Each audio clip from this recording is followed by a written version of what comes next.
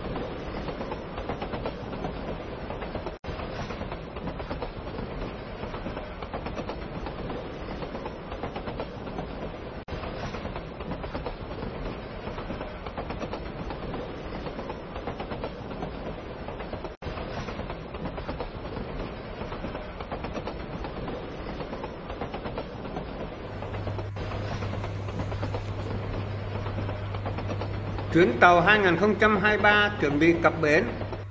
Quý khách chuẩn bị chuyển sang chuyến tàu 2024. Chuyến tàu 2024 sẽ mang đến cho quý khách bình an, vui vẻ và hạnh phúc.